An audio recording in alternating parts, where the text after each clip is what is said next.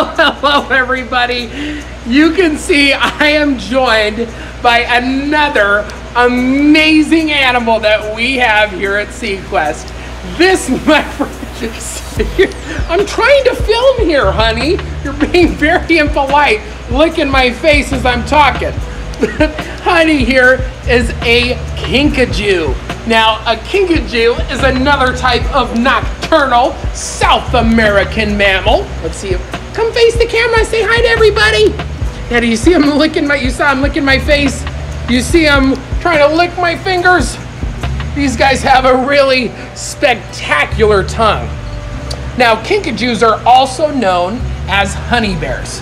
So they'll go and they'll actually raid the nests of beehives and they'll go in there and they'll use their long, special, skinny tongues to get all that delicious honey out of the nest. Another thing they'll use that super cool tongue for is to actually dig out uh, termites out of termite mounds. All right, but now my friend Honey, he was looking a little hungry since he was just licking my licking my hands in my face. So we're gonna give him a little bit of banana to keep himself preoccupied. But they'll eat a bunch of different things. They'll eat fruits, they'll eat vegetables, they'll eat honey, just like we were talking about before, termites, uh, small mammals, they'll eat just about anything, right? Look how cute they are. Now you can kind of see that tongue a little bit better. Let's see if we can see it a little bit better. You can see he's kind of chewing on the banana there, looking at the banana. Wow, look at that.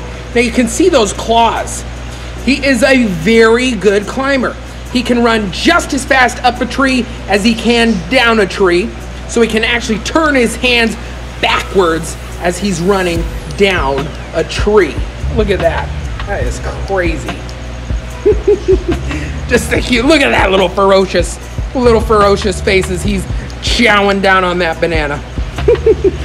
now these guys are known to live solitary as well as live in a group. When a group of these guys get together, they're called a troop. A troop of kinkajous. Can't get any cuter than that.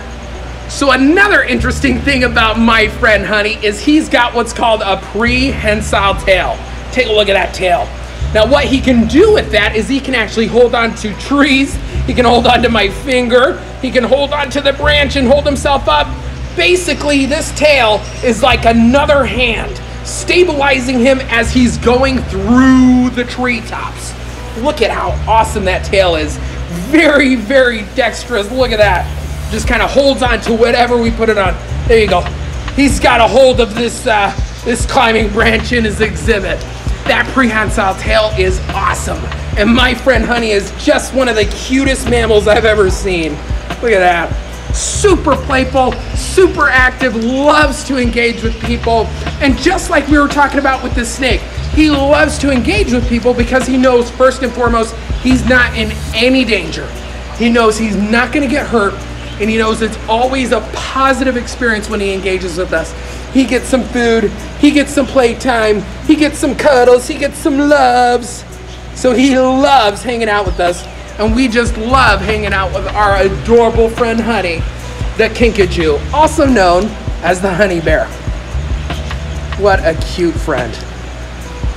I don't know about you, but this was one of my favorite videos to shoot because it just can't get any cuter than this. Oh my gosh.